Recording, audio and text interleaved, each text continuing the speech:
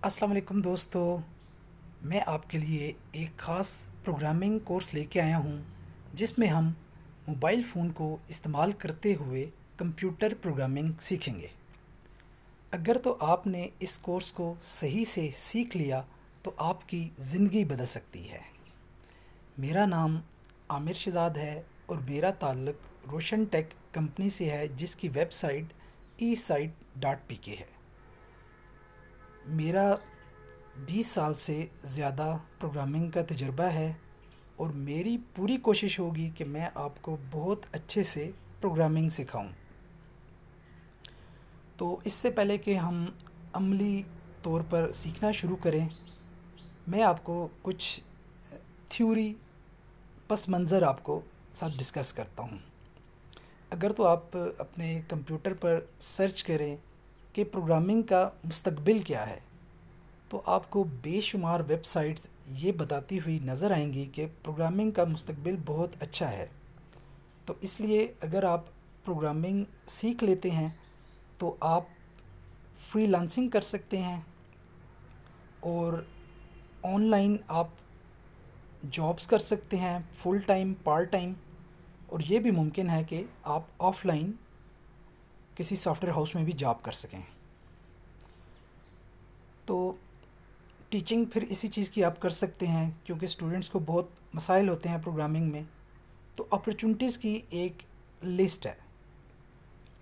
तो आप ये प्रोग्रामिंग क्यों सीखना चाहते हैं? तो मेरे नज़र में आप इसलिए प्रोग्रामिंग सीखना चाहते हैं कि आपके कोर्स वर्क में प्रोग्रामिंग आप करने लगे हैं, मुस्तकबिल में तो इस वजह से आप चाह रहे हैं कि आपकी प्रोग्रामिंग स्किल बहुत अच्छी हो जाए। और बाज़ लोगों के साथ ये मसला भी होता है कि उन्होंने डिग्रीज़ वगैरह की होती हैं, उनको कंप्यूटर लैंग्वेजेस का पता होता है, लेकिन प्रोग्रामिंग प्रैक्टिकली उनसे नहीं की जाती। तो इस वजह से भी लोग प्रोग्रामिंग सीखेंगे। और इसके अलावा अगर आपके बच्चे इस साइड पे आना चाहते हैं मुस्तकबिल में तो आपको अगर ख़ुद प्रोग्रामिंग आती होगी तो आप उनकी बहुत अच्छे से रहनुमाई कर सकते हैं।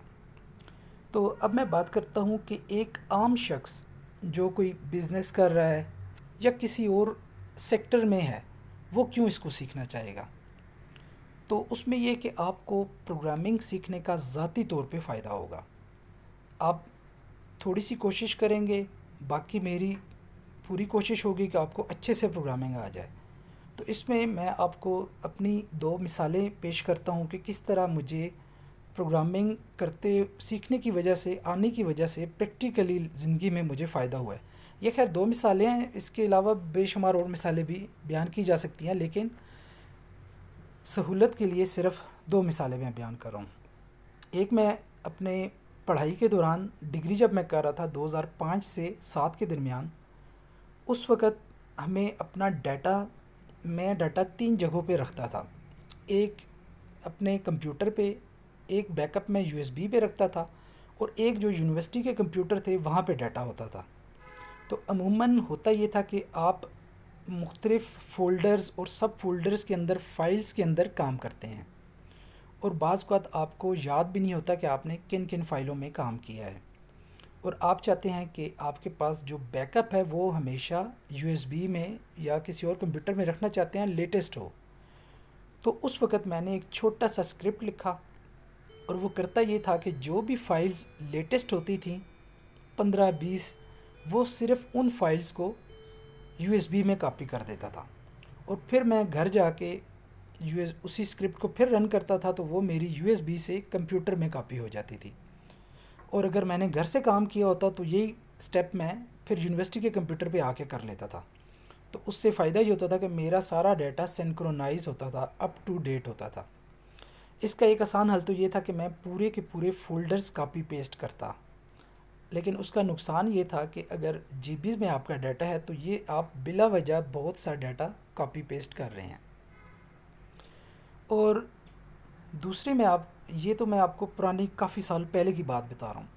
तो एक आपको चंद साल पहले की मिसाल बताता हूँ कि एक मुझे वेबसाइट से कुछ डाटा लेना था। वहाँ पे ईमेल एड्रेसेस थे, लेकिन वेबसाइट का स्ट्रक्चर कुछ इस तरह से था कि आप कंपनियों के नाम थे, उनके ऊपर क्लिक करते थे तो वो फिर एक पॉपअप खुलता था और उसके ऊपर ईमेल एड्रेसेस लिखे होते थे। तो मेरे लिए ये फिर एक तरदद की बात थी कि आप, मिसाल के तौर पे 300 वो कंपनी हैं। हर कंपनी के लिंक पे क्लिक करें, वो पॉपअप खुलता है और वहाँ से आप फिर कॉपी करते हैं ईमेल एड्रेस। तो उसके लिए मैंने क्या किया कि एक छोटा सा स्क्रिप्ट लिखा। उसने उस वेबसाइट के डाटा को रीड किया। उस स्क्रिप्ट ने प्रोग्रामिंग यानी कि लिखी, उसमें यह किया कि जहाँ पे एट द रेट साइन आता था, वो उसने सिर्फ़ वो लाइनें वहाँ से रीड कर ली। बाकी सब लाइनों को छोड़ दिया। जिस तरह आप सर्च करते हैं ना किसी फ़ाइल में उस तरह से प्रोग्रामिंग के ज़रिए सर्च की और सिर्फ़ वो वाली लाइनें ले आया। उसके बाद मैंने ये किया कि उसको अपनी सहूलियत के लिए उसको सर्टिंग करा दी और फिर ये किया कि कुछ जो ईमेल एड्रेसेस थे वो डुप्लिकेट हो रहे थे। एक से ज़्यादा दफ़ा आए हुए थे सेम ईमेल तो फिर उसको एक यूनिक उसको कर दिया। तो मेरे पास बिल्कुल फ़िल्टर होकर डाटा आ गया। तो चलें ये तो एक दो मिसालें मैंने बयान की हैं। अगर आपको प्रोग्रामिंग आ जाती है और आप प्रैक्टिकली काम कर सकते हैं तो फिर आप, जैसे कि मैंने पहले बताया है कि मुस्तबिल इसमें फ्रीलांसिंग और फिर जॉब्स आप पार्ट टाइम जॉब कर सकते हैं, अपना सॉफ्टवेयर का बिज़नेस इस्टेब्लिश कर सकते हैं। तो चले ये तो इसका कुछ पस मंज़र हो गया। तो अब मैं आपसे ये एक फ़र्क है कंप्यूटर की ज़बानें सीखने में और असल में प्रोग्रामिंग आने में फ़र्क फ़र्क क्या है? प्रोग्रामिंग हम कंप्यूटर की ज़बानों जो हैं, उन्हीं को इस्तेमाल करते हुए प्रोग्रामिंग करते हैं। लेकिन प्रोग्रामिंग एक चीज़ है और ज़बान आपको आना एक चीज़ है।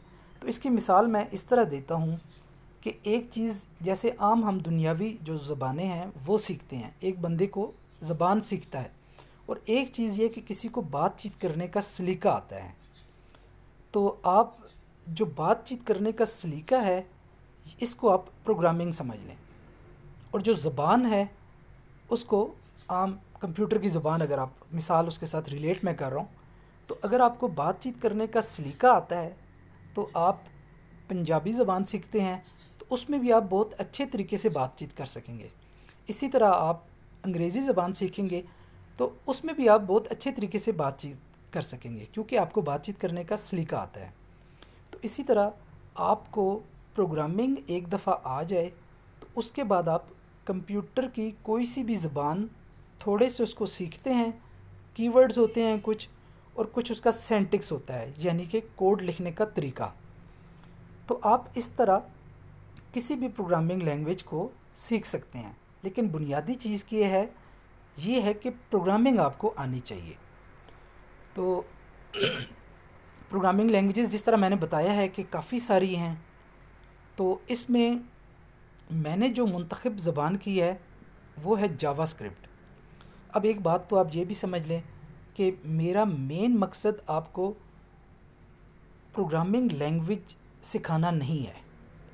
मेरा मेन मकसद, जो मरकज़ी मकसद है, वो ये है कि आपको प्रोग्रामिंग सिखाई जाए। तो इस वजह से जो भी मैं कोड लिखूँगा, मेरी कोशिश होगी कि मैं बहुत मुख्तसर सा कोड लिखूँ। एक तो फिर यह कि वो आपके लिए समझने में भी आसानी होगी। और फिर यह कि मेरी, अगर उसमें छोटे मोटे कोई एरर्स होते हैं, उसको मैं इग्नोर करूँगा। यानी जैसे कि अगर मैं एक कोड लिखता हूँ और ऑनलाइन कोई एक वैलिडेटर है, जो कि ये चेक करता है कि ये कोड कितना अच्छा है तो मुमकिन है उसमें कोई वार्निंग्स वगैरह आपको मिलें। लेकिन अहम जो चीज़ है, जो कि मैं अपना मकसद इस वीडियो सीरीज़ बनाने का मेरा है कि वो आपको प्रोग्रामिंग सिखाना है। तो जावास्क्रिप्ट, इसकी ख़ास बात ये है कि ये आप, इसको रन जब आपने करना है ना तो ये आप किसी भी डिवाइस में कर सकते हैं। चाहे आपके पास मोबाइल है, टैबलेट है, कंप्यूटर है तो ये इसकी जावास्क्रिप्ट की ख़ास बात है। आपको एक सॉफ्टवेयर चाहिए होता है जो कि तकरीबन हर डिवाइस में मौजूद होता है। वो है ब्राउज़र। तो इस वजह से मंतखब करने की एक वजह ये थी। और दूसरी वजह ये थी कि जावास्क्रिप्ट का जो कोड है, वो जो बाकी जो ज़बानें हैं कंप्यूटर की, उसके साथ मिलता जुलता है। जैसे सी लैंग्वेज है सी प्लस प्लस है सी शार्प है और इसी तरह पी एच पी एक लैंग्वेज है। तो इस तरह ये काफ़ी सारी जो लैंग्वेजेस हैं, इसके साथ इसका कोड स्ट्रक्चर जो है मिलता जुलता है। तो आप एक ये ज़बान सीख लेंगे तो यानी कोई भी आप एक ज़बान अच्छे से सीख लें तो दूसरी ज़बान सीखना आपके लिए इतना बड़ा मसला नहीं है। आप चंद दिनों में, हफ्तों में या महीनों में आप सीख सकते हैं कोई भी नई ज़बान। लेकिन शर्त क्या है कि आपको एक दफ़ा प्रोग्रामिंग सही से आती हो। तो इसमें यह है कि जावास्क्रिप्ट जो है लैंग्वेज इसका मैं ख़ुद भी एक्सपर्ट नहीं हूँ। मुझे बेसिक्स आती हैं और मैं इसमें कोडिंग कर सकता हूँ। तो इसमें यकीनन मैं गलतियाँ भी करूँगा और अहम बात ये होती है कि आप अपनी गलतियों को दुरुस्त कर सकें। ये चीज़ अहम है। इसको हम डिबगिंग भी बोलते हैं कि आपके प्रोग्राम के अंदर कोई बग आ जाता है तो आपको इतनी आपकी स्किल सेट हो जाए प्रोग्रामिंग की, जो कि मेरा टारगेट है आपको सिखाना, मकसद है, कि आप अपनी गलतियाँ खुद से निकाल सकें। तो चलें, इससे फिर हम निकलते हैं थ्योरी से तो प्रैक्टिकली हम इसको शुरू करते हैं। तो जावास्क्रिप्ट रन तो तकरीबन हर डिवाइस में हो जाती है, लेकिन इसकी कोडिंग करने के लिए आपको कोई ना कोई एडिटर चाहिए है, कोई सॉफ्टवेयर चाहिए जहाँ पे आप कोडिंग कर सकें। तो अगर तो आप डेस्कटॉप लैपटॉप है विंडोज़ आपके पास इंस्टॉल है तो नोट जो है एक सॉफ्टवेयर, उसमें भी आप कोडिंग कर सकते हैं। और लेकिन क्योंकि हमने यहाँ पे काम मोबाइल में करना है तो मोबाइल में हम एक सॉफ्टवेयर इसमें इंस्टॉल करेंगे। तो उस सॉफ्टवेयर के बारे में मैं आपको बताता हूँ। यहाँ पर एक सॉफ्टवेयर है ए कोड के नाम से। तो यहाँ पे मैं प्ले स्टोर में जाता हूँ, आपके सामने ही। और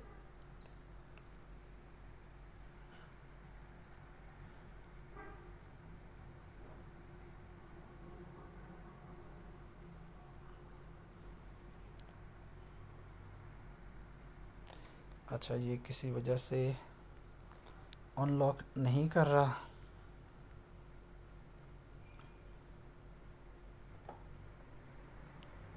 तो आपने करना ये है कि प्ले स्टोर में जाना है और यहाँ पे सर्च बार में आपने लिखना है ए कोड इकट्ठा लिखें या स्पेस के साथ लिख दें। इकट्ठा लिखेंगे तो ज़्यादा अच्छा है. ए सी ओ डी ई पहले मेरा इरादा एक और सॉफ्टवेयर के अंदर ये काम करने का था आ, लेकिन फिर उस सॉफ्टवेयर में कोई एक इशू था तो इस वजह से उसको छोड़ दिया। तो अभी क्योंकि मैं नेट इसका ऑफ़ किया हुआ है क्योंकि मैं ये रिकॉर्डिंग कर रहा हूँ और मैं नहीं चाह रहा था क्योंकि कॉल वगैरह आए और ये रिकॉर्डिंग डिस्टर्ब हो। तो यहाँ पे ए कोड के नाम से सॉफ्टवेयर आएगा। इसका आइकन आप यहाँ से देख लें। आइकन इस तरह का होगा। जैसे कि स्क्रीन पे आपको नज़र आ रहा है। तो मैं इस सॉफ्टवेयर को अभी खोलता हूँ और आपको एक पहली जो हम एग्जांपल करते हैं हेलो वर्ल्ड के नाम से सॉफ्टवेयर अमूमन हम किसी भी ज़बान में बनाते हैं। तो उसमें होता ही है कि हम एक सिंपल टेक्स स्क्रीन के ऊपर लिखा हुआ आ जाता है हेलो वर्ल्ड वैसे तो कुछ भी आप लिखा सकते हैं। तो ये हम अमूमन किसी भी नई लैंग्वेज जब सीखते हैं तो ये इस तरह का एक छोटा सा प्रोग्राम बनाते हैं। तो आज के दिन हम ये एक इब्तदाई प्रोग्राम बनाएँगे। और मेरी आपसे ये रिक्वेस्ट है कि आप बेशक वीडियो को यहाँ पे पास कर लें और ये सॉफ्टवेयर आप जो है ऐप ए कोड ये इंस्टॉल कर लें। वरना ये है कि वैसे तो कोई भी टेक्स्ट एडिटर आप करेंगे तो काम हो सकता है, लेकिन इसमें एक और फीचर इसमें है कि ये आप प्रीव्यू भी इसी के अंदर ही आप कर सकते हैं, जो भी आप कोड लिखेंगे जावास्क्रिप्ट का। तो आप प्रोग्राम ये इंस्टॉल कर लें और मेरे साथ साथ आप ख़ुद कोडिंग लिखें। क्योंकि जब तक आप चीज़ें चला के चेक नहीं करेंगे, तब तक आपको समझ नहीं आएगी। तो इसमें हमें सेंटर में एक विंडो नज़र आ रही है, जिसमें हमने असल में कोड लिखना है। तो पहले हमने ये करना है कि एक नई फ़ाइल हम बनाते हैं। तो उसके लिए मैं यहाँ पे क्लिक करता हूँ और यहाँ पे ये यह कह रहा है ओपन फोल्डर तो यहाँ पे जो इसकी मेन स्टोरेज है इंटरनल इसको मैं सिलेक्ट कर लेता हूँ। और यहीं पे इसके रूट के ऊपर ही मैं फाइल्स बनाऊँगा। तो इसको मैंने सेलेक्ट कर लिया और बेस्ट प्रैक्टिस ये होती है कि आप कोडिंग करने लगे हों तो आप फ़ाइल को सेव कर लें। बेस्ट प्रैक्टिस ये होती है। तो इसमें हम थोड़ा सा कोड लिखते हैं। तो जावास्क्रिप्ट के लिए यहाँ पे हम कुछ कोड लिखेंगे, छोटा सा एच का कोड तो इसमें समझना इसको ज़रूरी नहीं है। जो मैं अभी लिखने लगा हूँ, इसको समझना ज़रूरी नहीं है। तो आगे जो हम लाइन लिखेंगे, एक जावास्क्रिप्ट के कोड की, उसको समझना ज़रूरी है। तो इसको समझे कि ये हमारा प्रोसेस का हिस्सा है कि हमें ऐसे ही लिखना है, वरना ये हमारा कोड एग्जीक्यूट नहीं हो सकेगा। तो स्क्रिप्ट की, जो एचटीएमएल है, उसके स्क्रिप्ट जब आप लिखते हैं, उसमें आपको टैग्स इस्तेमाल करने होते हैं। तो ये इस तरह की हम ब्रैकेट्स डालते हैं और इसके अंदर हम जो टैग है उसका नाम लिखते हैं। तो इस केस में जो हम, हमारा टैग है उसका नाम है स्क्रिप्ट। तो स्टार्ट जब जो होता है तो इस तरह से होता है। इसी को हम कॉपी करते हैं। टैग स्टार्ट होता है और टैग एंड होता है और इसी को हम कॉपी पेस्ट कर देते हैं। और जो एंडिंग टैग होता है उसमें थोड़ा सा फ़र्क होता है उसमें आखिर में स्लैश के साथ टैग का नाम होता है। तो ये सीखना आपके लिए ज़रूरी नहीं है आ, लेकिन आपको क्योंकि लिखना पड़ेगा जब कोडिंग आपने करनी है तो इस वजह से आप ये चीज़ नोट कर लें कि ये आप ये लेस देन साइन और ग्रेटर देन साइन इसके दरमियान टैग का नाम लिखना है टैग का नाम है स्क्रिप्ट और इसी तरह क्लोजिंग भी आपने करनी है लेकिन क्लोजिंग में टैग के नाम से पहले स्लैश डालना है। तो अब इसके दरमियान जो चीज़ हम लिखेंगे, ये होगी जावा स्क्रिप्ट तो जावा स्क्रिप्ट भी एक कंप्यूटर की लैंग्वेज है स्क्रिप्टिंग लैंग्वेज है, और ये ब्राउज़र के अंदर रन होती है। इसके लिए जो आपको रन करने के लिए सॉफ्टवेयर चाहिए, वो ब्राउज़र चाहिए। तो इसको जैसे कि मैंने कहा है कि इसको हम सेव कर लेते हैं। और ये मेरे ख्याल है इसी नाम से गालबन सेव हो गया है। हाँ हाँ जबकि हमें इस नाम से इसको सेव नहीं करना। इसको मैं रीनेम करता हूँ और इसका नाम मैं दे देता हूँ हेलो वर्ड हेलो वर्ड वैसे आप जो भी मर्ज़ी नाम लिख दें।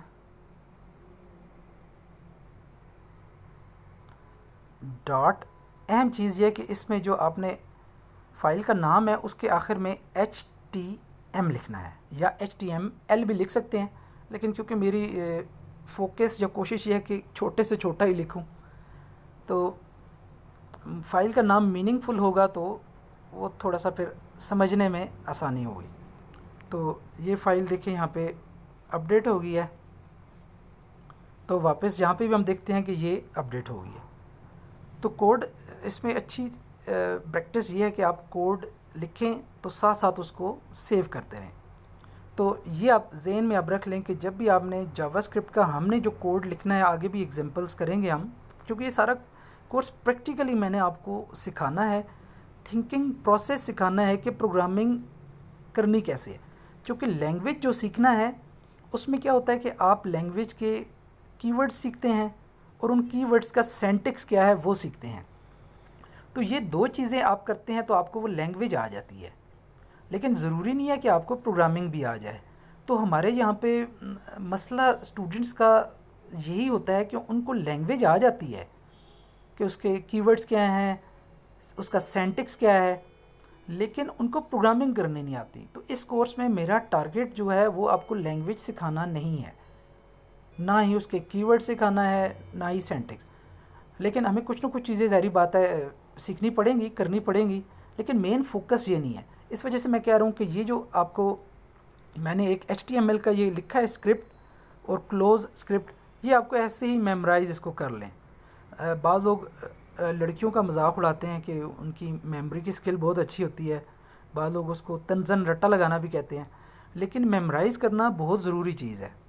कुछ चीज़ें आपको मेमोराइज़ करनी होती हैं और कुछ चीज़ें आपको समझ के करनी होती हैं। तो अभी ये वाला जो पार्ट है, ये मेमोराइज़ करने वाला है। आगे जो प्रोग्रामिंग का पार्ट है, वो समझ के करने वाला है। उसको उसको रट्टा लगाने की मेमोराइज़ करने की गलती आपने नहीं करनी। क्योंकि वो आपका, जब भी आपको कोई सामने असाइनमेंट आती है, कोई रियल वर्ल्ड प्रॉब्लम आता है, उसको आपने हल करना है तो वो आपने लॉजिक्स की बेस पे करना है। तो मेन मेन मैंने जो आपको चीज़ें जो सिखानी है, वो इन ताला लॉजिक्स सिखानी है प्रोग्रामिंग सिखानी है।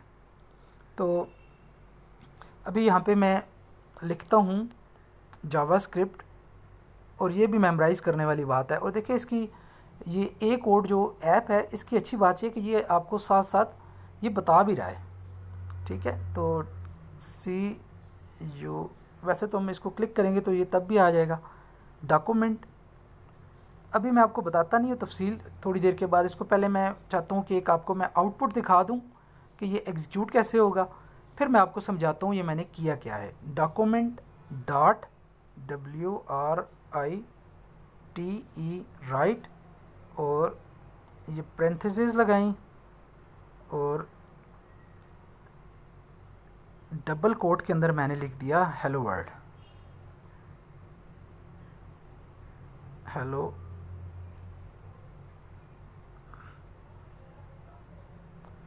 hello world अच्छा इसको हम अब सेव करते हैं। और ऊपर देखें, आपको एक प्ले का निशान नज़र आ रहा है। ठीक है? तो इस पर हम क्लिक करते हैं। तो अब ये हमसे पूछ रहा है कि प्रीव्यू आपने ब्राउज़र में करना है या इन ऐप करना है?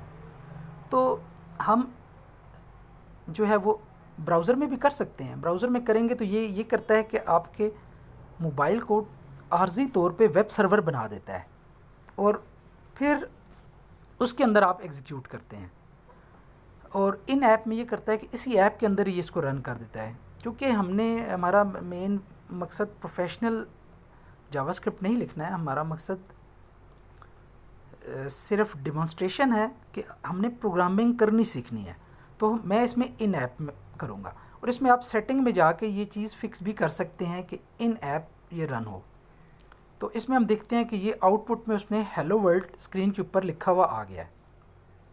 तो जो हमने बाकी कोड लिखा था, वो कुछ भी लिखा हुआ नहीं आया। जैसे हमने स्क्रिप्ट लिखा है, हमने लिखा है डॉक्यूमेंट डॉट राइट लिखा है ब्रैकेट्स लिखी हैं, ये भी नज़र नहीं आया। तो जो नज़र आई है चीज़, वो जो हमने कोटेशन के अंदर जो लिखा हुआ है हेलो वर्ल्ड वही नज़र आया है। तो एक दफ़ा मैं आपको सेटिंग इसकी दिखा देता हूँ कि जिसमें मैंने बताया है कि ये आप इसको जो रन करने वाला प्रोसेस है ये हमेशा फिर आपसे बार बार प्रीव्यू इसमें पूछता है। इन ऐप आपको सेलेक्ट करना पड़ता है। तो इसके बजाय आप ये भी कर सकते हैं कि सेटिंग में जाके सेटिंग्स में आए अदर सेटिंग में आए तो यहाँ पे प्रीव्यू मोड की एक ऑप्शन है। तो इसको आप इन ऐप कर लेंगे तो फिर आपसे ये बार बार पूछेगा नहीं। आ, लेकिन मैं फ़िलहाल इसको कुछ भी चेंज नहीं करता। उसकी वजह यह कि आप जब पहली दफ़ा ऐप इंस्टॉल करके यहाँ पे आएँगे। और मैंने अगर कुछ भी सेटिंग्स वगैरह इस तरह चेंज की हुई हुई और आप मेरी वीडियोस देखेंगे तो कंफ्यूज होंगे। तो आ, मेरा मकसद या टारगेट यह है कि आप कंफ्यूज बिल्कुल भी ना हो। जो डिफ़ॉल्ट सेटिंग्स हैं वो एज़ इट इज़ कर लें। तो अब मैं थोड़ा सा इसको एक्सप्लेन करता हूँ कि जो मैंने एक लाइन लिखी है जावा की इसमें एक लाइन है। और ऊपर जो टैग हैं वो एचटीएमएल के टैग्स हैं। मतलब उसको आपको याद रखना एचटीएमएल है या नहीं, बस आपको ये प्रोसेस याद रखना है कि आपने फ़ाइल का कुछ भी नाम दें, उसके आखिर में एच लिखें या एल भी साथ लिख सकते हैं एचटीएमएल लेकिन मैं क्योंकि शॉर्ट के चक्कर में हूँ तो एच टी एम ही लिख कर, लिखूँगा। और फिर आपने ये स्क्रिप्ट और स्क्रिप्ट क्लोज ये लिखना है और बीच में हमारा जावा स्क्रिप्ट का कोड आएगा। और वो अभी तो हमारा एक लाइन का कोड है, बाद में ये इससे ज़्यादा भी हो सकता है। तो इसको थोड़ा सा मैं एक्सप्लेन करता हूँ ताकि आपको ये समझ आए कि डॉक्यूमेंट एक आपका जो वेब पेज होता है, वो पूरा एक उसका ऑब्जेक्ट आपका प्रोग्रामिंग में आपके लिए अवेलेबल होता है कि आप उसके ऊपर कुछ भी प्रोसेस करना चाहें तो कर सकते हैं। तो उसमें हम उस डॉक्यूमेंट जो कि एंड यूज़र को जो वेबसाइट नज़र आनी है, वो डॉक्यूमेंट उसके ऊपर हम राइट कर रहे हैं ये वाला टेक्स्ट तो ब्रैकेट्स जो हमने लगाई हुई है राइट के साथ डॉट बीच में जो लिखा है हमने, ये ये बता रहा है कि ये जो हमने आगे राइट वाला ऑपरेशन कर रहे हैं, वो डॉक्यूमेंट के ऊपर हो रहा है। तो इसलिए डॉट लगाने का यहाँ पे ये फ़ायदा होता है कि ये जो ऑब्जेक्ट है लेफ़्ट साइड पे, ये वाले राइट साइड पे जो हमने एक्शन लिखा है, वो करेगा काम। और ब्रैकेट्स जो हमने लगाई हैं, ये हमें बताता है कि ये एक फ़ंक्शन है। तो वो हम आगे जाके देखेंगे कि फ़ंक्शंस क्या होते हैं। लेकिन आपकी आसानी के लिए आप ये समझ लें कि वो आपकी कोडिंग की एक लिस्ट होती है। यानी अभी तो हमने एक लाइन का कोड लिखा है ना बाद में हो सकता है कि हम 10, 20, 50 लाइनों का कोड लिखें। तो वो उस जो कोड है एक लिस्ट ऑफ़ कोड है उसको रिप्रेजेंट कर रहा होता है फ़ंक्शन तो एक लिहाज से ये करता ये है कि जो वो कोड वहाँ पे लिखा हुआ है पीछे बैक एंड पे वो उसको यहाँ पे रिप्लेस कर देता है। लेकिन अभी क्योंकि हम फ़ंक्शन हमने बनाना नहीं है, हम बाद में इन ताला ये सारी चीज़ें करेंगे। फ़ंक्शन भी बनाएँगे और फिर हम ये सारी चीज़ें डिमॉन्स्ट्रेट करेंगे। लेकिन अभी हमारा मकसद फ़ंक्शन बनाना नहीं है। तो हमने एक बना हुआ फ़ंक्शन है, एक ऑपरेशन है एक्शन है राइट का वो कॉल किया है। और स्ट्रिंग जब भी हमने लिखनी होती है एज़ इट इज़ हमने जो चीज़ें दिखानी होती हैं उसको हम इस तरह कोटेशन के अंदर लिखते हैं। अब देखें, मैं इसमें थोड़ा सा कोड को तब्दील कर रहा हूँ। यहाँ पे हेलो के साथ मैं अब अब जानबूझ के वैसे ही मैं कुछ भी लिखता हूँ। टू लिख दिया मैंने। सिर्फ़ डिमॉन्स्ट्रेशन के लिए कि वो चेंज होगा। इधर थ्री लिख दिया। तो अब इसको हम एग्जीक्यूट करेंगे तो वहाँ पे हमारा जो आउटपुट है उसमें हमें ये हेलो टू और वर्ड थ्री नज़र आना चाहिए। तो इसको हम एग्जीक्यूट करते हैं। इन ऐप में चला चलाते हैं। तो आउटपुट जो हमारा डॉक्यूमेंट है ये देखिए पूरा जो हमें नज़र आ रहा है तो इस पर हमने इसको वैसे ही दिखा दिया आ, तो आज की एग्ज़ाम्पल में हम मेरा टारगेट यही था कि थोड़ा सा ब्रीफ़ करूँ कि हम क्या करने लगे हैं। थोड़ी सी इन्वायरमेंट सेटअप हो जाए। ये ऐप जो है ये आप ए कोड लाजमी आप इंस्टॉल कर लें और जैसे मैंने ये काम किया है ये करके आप प्रैक्टिस कर लें। और फिर यह है कि नेक्स्ट लेक्चर में हम बाकी इन ताला चीज़ें फिर प्रॉपर स्टार्ट शुरू कर देंगे।